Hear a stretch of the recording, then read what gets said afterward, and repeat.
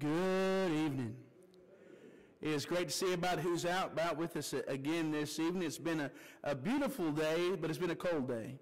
But hold on, I hear brighter days, warmer days are ahead. Just hold on, and it'll be here. I was talking to uh, my fishing buddy the other on Friday while we were sitting in the middle school. I was sitting in the middle school line. He wasn't.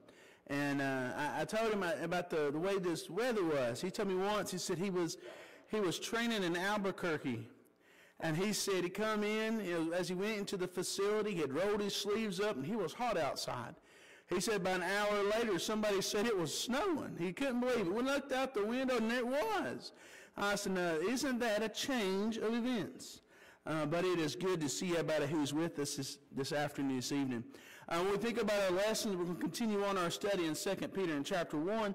And what we've been doing is talking about these, what many people call Christian graces. Christian graces. And we'll go ahead and read the, the verses again to get them implanted back in our minds. Uh, 2 Peter chapter 1, starting in verse 5, it says, But also for this very reason, given all diligence, add to your faith virtue, to virtue knowledge, to knowledge self-control, to self-control perseverance, to perseverance godliness, to godliness brotherly kindness, and to brotherly kindness love. For if these things are yours and abound, you will need, you'll be neither barren nor unfruitful in the knowledge of our Lord Jesus Christ. Now, we've talked about several things over the, over the past couple months about these, these verses, these ideas. The first thing, again, we looked at was giving diligence to this. It takes a little bit of work to do this. Uh, we have our faith. Our faith is that I believe in God and I seek after Him. And that's that, those pieces that come together. Uh, from there, we add virtue, and virtue is doing the right thing. It doesn't matter where we are. We're trying to do the right thing. To virtue, we're adding knowledge. So as we continue to do the right thing, we're finding out more about who God wants us to be. Now, we've mentioned before this is a, a growing process. As I learn more about who God wants me to be, it builds my faith. As it builds my faith in who I should be, I hold myself to the standard to do what is right. That's virtue or integrity. And, and then I add more knowledge and it goes into self-control. Now, I said before, this one is the one where people say you go from preaching to meddling. Because we have to go and tell ourselves no sometimes. And not only do we tell ourselves no sometimes, we also got to tell ourselves it's time to get off the couch, go outside, and do something. And that you, it's that control of self. And we don't like that very much. We kind of like to go on autopilot. Just whatever the day kind of gives us, we'll just put it on autopilot and we'll go this way and that way. But self-control says, I'm not doing that anymore and I'm doing this today. Then we come to perseverance.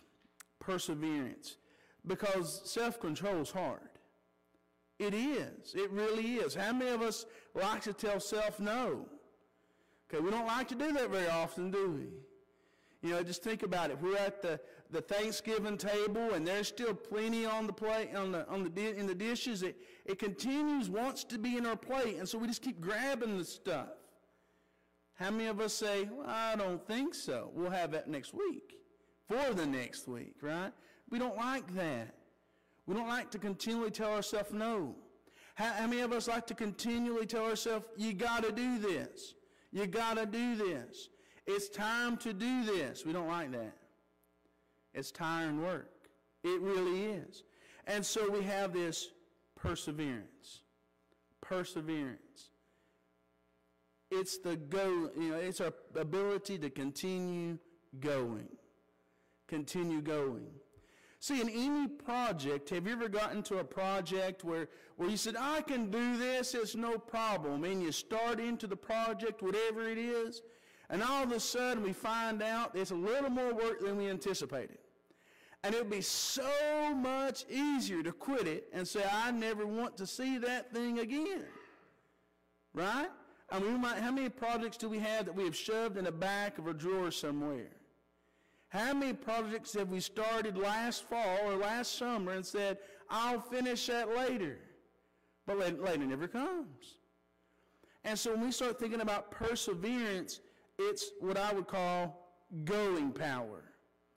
Going power.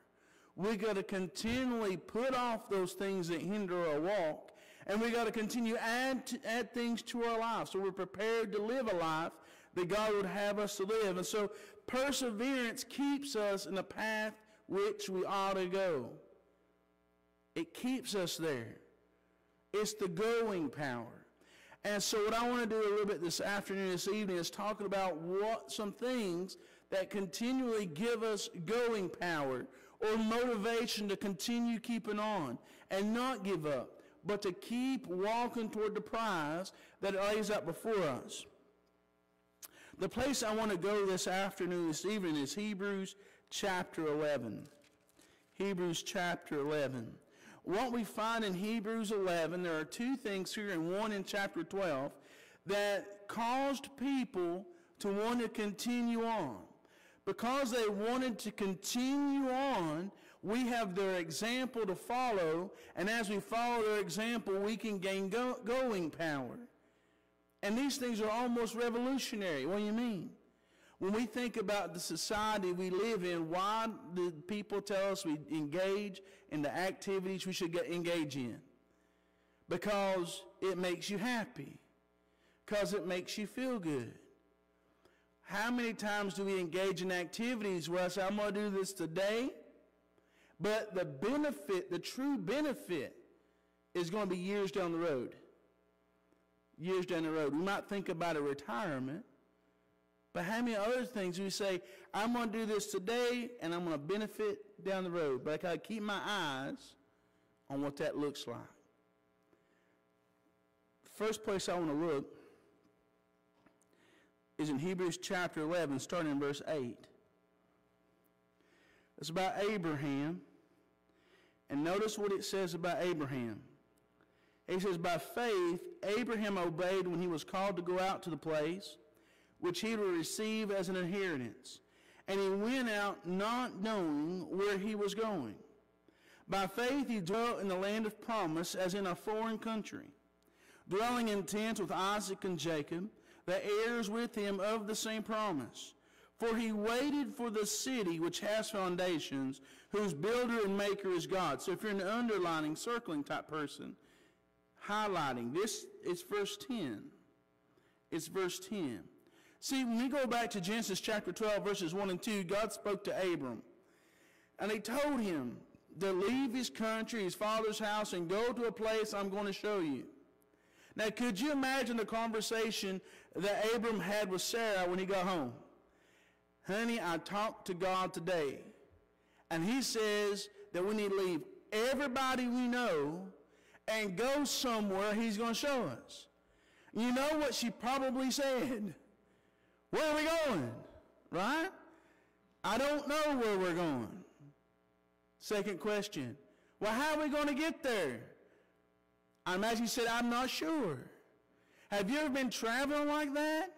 How do we get there? I don't know, but I know this road takes us over there, and so we're going to go. Abram left his father's house, left his country, the things that he knew that made him comfortable, and started walking a path where, you know, the, God's ways, where God wanted him to go. Now he goes to Haran, God talks to him again there, and he goes on into Canaan. But the idea is he gets up and he goes. Now, when he does this, I don't know if he knew how far it would take him. And I don't mean distance wise. I mean really how far. I mean, here he is. He heads out and he goes to the promised land. He's there. He ends up down in Egypt. He gets thrown out of Egypt. He wanders around more. He ends up in Gerar. Gets thrown out of Gerar he ends up in one war. He ends up fighting with, uh, with well, his herdmen and Lot's herdmen fuss and fight, and he ends up sending Lot off, who ends up getting captured. That's the reason he had to go to war, to get him back. I mean, you have all this happening. I doubt he knew that was going to happen when he set out. But that's what happened. Abram, why didn't you just go back home? Why didn't you say, I just want to be back there? because that's the comfortable place. That's the place we ought to be. He was waiting for a city which has foundations, and the builder and maker is God. He was looking for a place that was not on this earth. He was looking for a heavenly city. See, that's why, that's why he kept going. That's why he kept obeying. He was looking for a heavenly city. Now, how often do we sit back in, in our lives and we build our life around going to a heavenly city? We say, This is where I want to go. And this is the life I live because I want to go there. And it doesn't matter who makes fun of me, this is where I'm going. This is what I'm doing. And I want to take as many people there as I can. Now, notice when we pick up in verse 13, we're going to read 13 to 16, and notice how he keeps emphasizing the, the desire of Abraham to continue on, the desire of Isaac and Jacob to continue on. Notice what he says in verse 13. These all died in faith, not having received the promises, but having seen them afar off were assured of them, embraced them, and confessed they were strangers and pilgrims on the earth. For those who, who say such things declare plainly that they seek a homeland. And truly, if they had called to mind that country from which they came out, they would have had opportunity to return. But now they desire a better, that is a heavenly country. Therefore God is not ashamed to be called their God, for he has prepared a city for them. See, the first thing when you look at that first going power, the, the motivating force is to get up and saying, I want to look for a heavenly land. I want to look for a heavenly country. I want to look at a place where God is and he's dwelling there. And I want to dwell with him. I want to look there. I mean, could you imagine wandering around as a pilgrim, a sojourner, a stranger? Just kind of pack around what you have with you from this place to that place, really not having an area to call your home because you're looking for a heavenly country? See, we spend most of our lives building our estate, worrying about what our estate looks like. What does our house look like? What does our bank account look like? What do our cars look like? What does it, what is it am I going to leave to my children and grandchildren when I die and leave this place? That steals a lot of our focus. That shouldn't be a focus. That shouldn't be where we put all of our energy. That's where it goes, but it shouldn't be there. What would happen if we said, this earth is not my, this world my, is not my home. I'm just a passing through. My treasures are laid up somewhere beyond the blue. We sing the song. What would happen if we lived the song? See, when we look to 2 Peter 3, what Peter does is he tells these people, these individuals he's writing to, these persecuted people, about a difference between what is what they've been going through and what they're going to have. And there are some people who are making fun of Jesus coming back because he's not come back yet. And so Peter goes on to say there's people who are scoffing, they, they forget the word of God. Notice what he says here in verse 10 in 2 Peter 3. 2 Peter 3.10. But the day of the Lord will come as a thief in the night, in which the heavens will pass away with a great noise, and the elements will melt with fervent heat. Both the earth and the works that are in it will be burned up. Everything that we've ever worked for one day will be gone. Solomon calls it vanity. Everything we put their energy into will be gone one day. It will not last forever. But you, but me, we will last forever somewhere. Notice how Peter goes on to say it. Therefore, since all these things will be dissolved, what manner of persons ought you to be in holy conduct and godliness, looking for and hastening the coming of the day of God, because of which the heavens will be dissolved, being on fire, and the elements will melt with fervent heat. Nevertheless, we, according to his promise, look for a new heavens and a new earth in which righteousness dwells. There's a heavenly country. There's a heavenly country. And it's there. And you and I can go there through and by the blood of Jesus Christ. But we got to look to that country, that heavenly land, to get through this into the next, into the next life. There's a second thing. We go back again to the book of Hebrews and chapter 11. There's another, it deals with Moses. Now notice what he says here, starting in verse 24. So it's Hebrews 11, verse 24.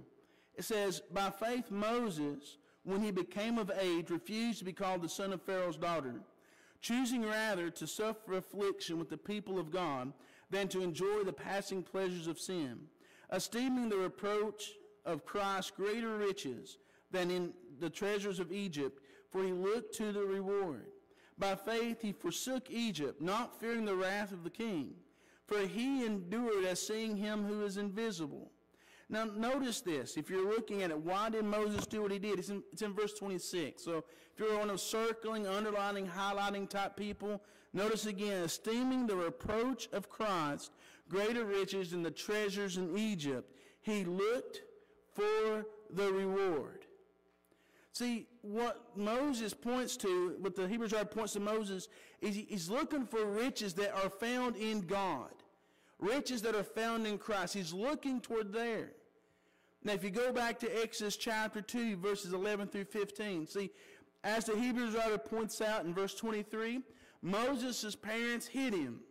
At a time they were throwing babies in the river and having them killed, they hid him.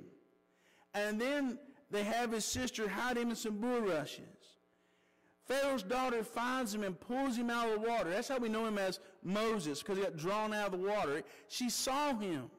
She had compassion on him. I don't know why him versus all the other babies that were being killed. I don't know. But she had compassion.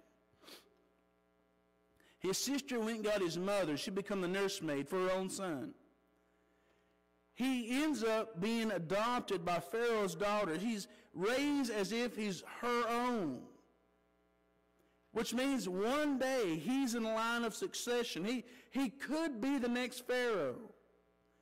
But one day he's out, and, he's, in, in verses 11 through 15 of, of Exodus 2, he's out among the people.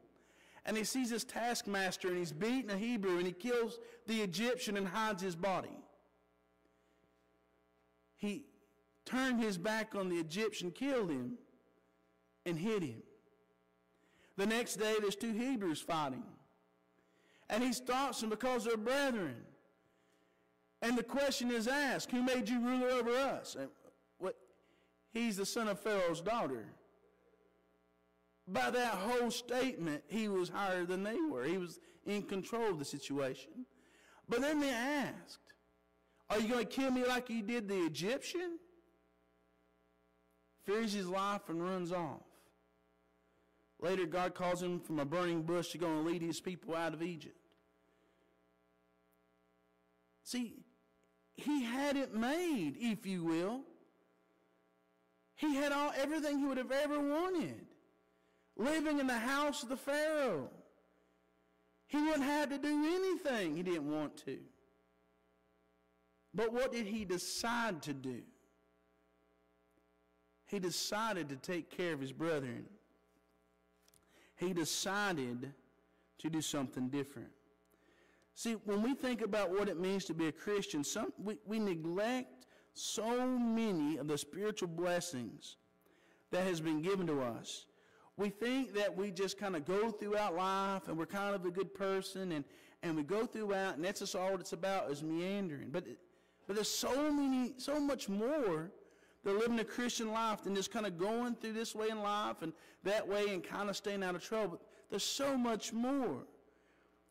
See, notice what, what Peter, uh, Paul says in Ephesians chapter 1, starting in verse 3. He says, Blessed be the God and Father of our Lord Jesus Christ, who has blessed us with every spiritual blessing in the heavenly places in Christ. Notice how he goes on to say these spiritual blessings. Because in, in essence, when he says he's given every spiritual blessing to those in Christ, that means there's not one spiritual blessing we do not have. We have them all. Every single one of us has them all in Christ. Notice in verse 4, He chose us in Him. In Him. That's that relationship piece. If you're in Christ, you are a chosen person. Have you ever been sitting in a classroom or sitting on a sideline or sitting in an area where you said, I wish somebody would choose me? Have you ever been someone who wasn't chosen? See, in Christ, you're a chosen person. God chooses you in Jesus Christ. Notice before the foundation of the world that we should be holy and without blame before him in love. Notice in verse 5, having predestined to us as adopt, to adoption as sons by Jesus Christ to himself. You've been adopted. You're part of God's family. Galatians 3.24, as many of us has been baptized in him, have put on Christ. We, that's how we become part of the family of God. We're brethren. Heirs of the according to the promise given to Jesus. We're there. We're his children. Notice at the end of verse 6, by which he made us accepted in the beloved. Have you ever been in a place you felt out of place? Felt like you didn't belong there for whatever reason? There's going to come a great feast day, if you will, in heaven. You're going to have a seat there, and you shouldn't feel out of place because you're one of the guests of honor. You're accepted, not rejected. You're part of it. Part of it. In him we have redemption through his blood. We've been bought back by his blood, the forgiveness of our sins. There are people who want to live life normal and not carry the burden of sin and wrongdoing within them anymore. In Jesus, you have it. You have it. But I feel so guilty. Why do you feel guilty? Is it something God says, or have you not forgiven yourself over it? Why? See, you have the forgiveness. It's all there. Notice again in verse 9 having made known to us the mystery of his will according to his good pleasure, with uh, which he purposed in himself. We're a knowing type people. We have the wisdom of God right here. How does God say live life? It's right here. You have access to it. It's not hidden. It's all here. He's made it known. Notice again in verse 11. In him we all, in him also we have obtained an inheritance, being predestined according to the purpose of him who works all things according to the counsel of his will, that we who first trusted in Christ should be the praise of his, uh, of his glory. In him you also trusted after you heard the word of truth, the gospel of your salvation, and whom having believed was sealed with the Holy Spirit of promise. What, we have an inheritance. Because Jesus died, we get a reward. Because he died, we get salvation. Because we heard the word of truth and we obeyed it, we get freedom in Christ. Those are great spiritual blessings. And if we're not careful, we walk around like this. And we don't want to look at nobody. And we feel like we're the worst people in all the world. And yet we're God's own special people. 1 Peter chapter 2 and verse 9. To proclaim his praises into the darkness. Now, isn't that amazing? Isn't that amazing? We're so rich in Christ, and there are times we allow physical things to quench our spirit. Why do we do that? So we shouldn't. We shouldn't. You're God's special person no matter wherever you are. See, there's greater riches in Jesus than this world has ever to offer because they're all going away anyway. Like Solomon said, they'll grow wings and fly out the window in the morning. Have you ever got a paycheck and it gone? I believe it speaks the truth. But there's certain things nobody can take away from us. And that's an amazing, amazing thought. We're so blessed in Christ. If we uh, go back to Hebrews chapter, we'll look at chapter 12. So we're to look for that heavenly city, look for that heavenly home, anticipate finding it. We look for the riches of being found in Christ. Chapter 12 and verse 1, he's already talked about all these people. They died and suffered, and things happened to them, but they're not going to receive the reward outside of you and I. Notice what he says in verse 1. Therefore, since therefore we also, since we are surrounded by so great a cloud of witnesses, let us lay aside every weight and the sin which so easily ensnares us, and let us run with endurance, perseverance, patience, the race that is set before us, looking unto Jesus, the author and finisher of our faith, who for the joy that was set before him endured the cross, despising the shame, and has sat down at the right hand of the throne of God. For consider him who endured such hostility from sinners against himself, lest you become weary and discouraged in your souls. You have not yet resisted the bloodshed, striving against sin. See, when we look at Jesus, Jesus is totally different than the Messiah, Savior they were looking to come. They, wanted somebody to be victorious and, and ride in and lead them to battle and destroy the Romans and give their country back. But that's not why Jesus was here. Truly, he was a king, but his, spirit, his kingdom's a spiritual kingdom. It's what he told Pilate. He come to deliver us from the greatest enemy we, you and I have ever known. Our sins, the devil. See, he's come to set us truly free. That's why Jesus came. We can look at him. See, his life wasn't always easy. You remember how Jesus said it when Peter and John come to see him in John 1. Foxes have holes, birds have nests, but the Son of Man has no place to lay his head. See, he doesn't promise.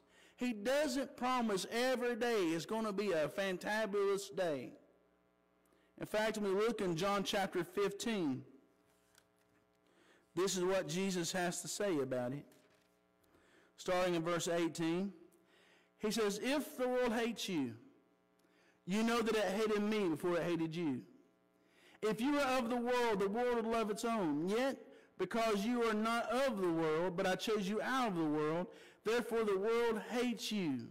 Remember the word that I said to you, a servant is not greater than his master. If they persecuted me, they will also persecute you.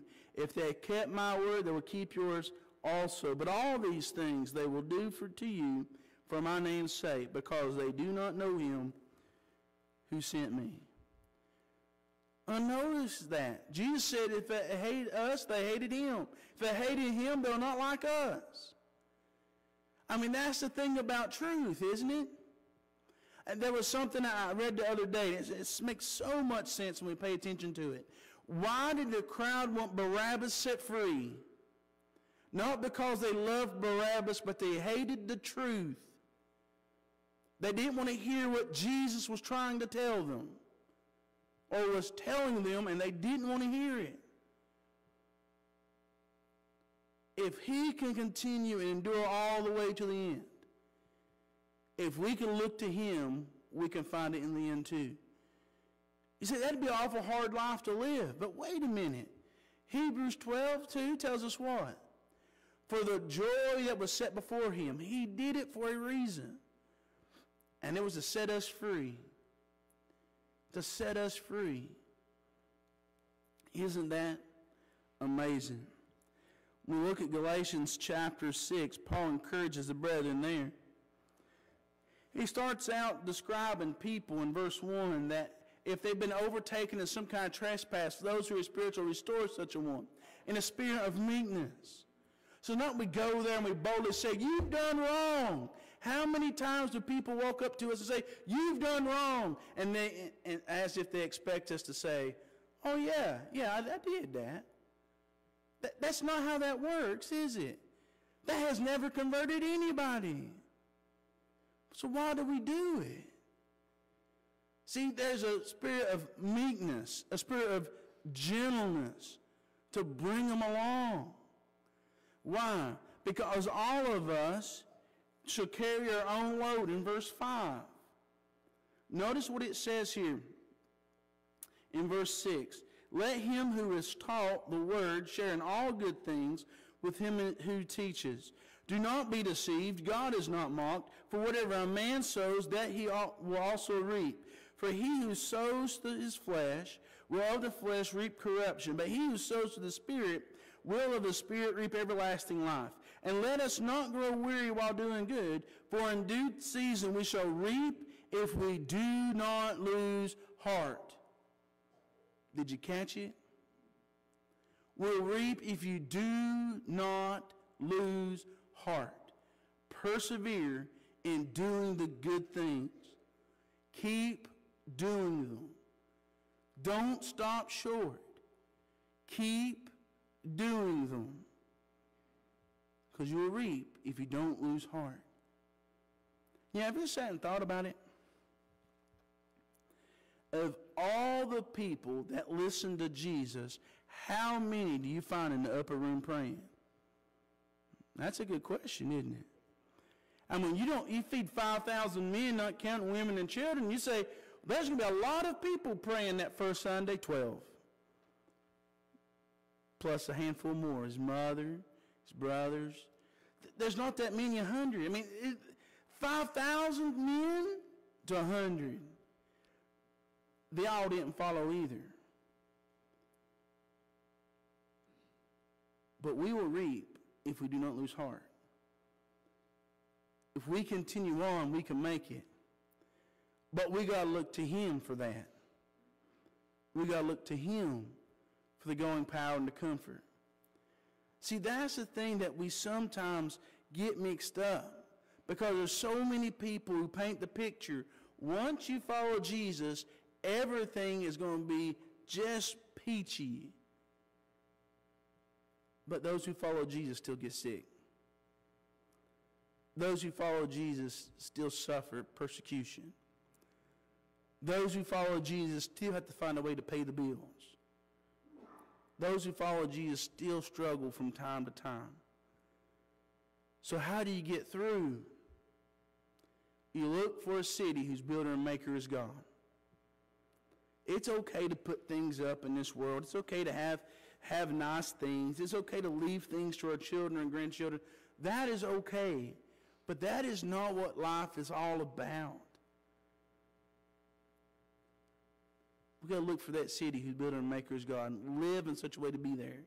Not that we ever gain it or earn it through our works, but one day he'll say, Well done. But you got to look for the city. You got to look for that city. You got to look at the riches that are found in Jesus. There's so many more things that's worth that money cannot buy. It's worth more than all the gold and silver in the world. I had a saying, I'll, I'll give it to you. I'd pay a million dollars for peace of mind.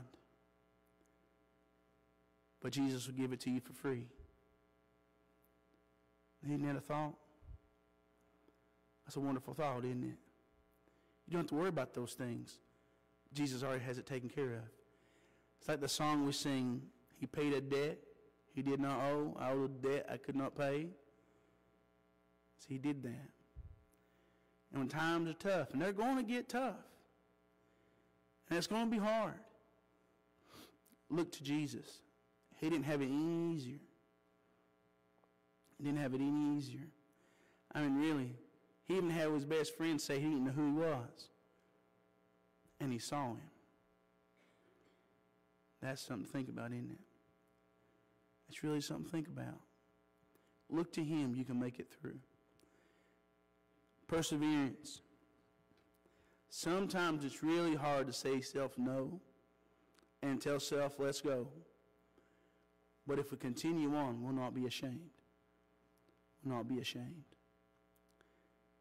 Today, where are you in this life? Are you looking for that heavenly city or are you trying to build an earthly kingdom? Are you looking for those riches that are found in Jesus or are you looking at the pockets? The things that one day will be burned up. Are you looking to Jesus to get you out, get you through this life and into the next? Or are you only looking at self and what self can do? See, if we're not trusting in Jesus and walking according to his way, looking for that heavenly city, why not do it today?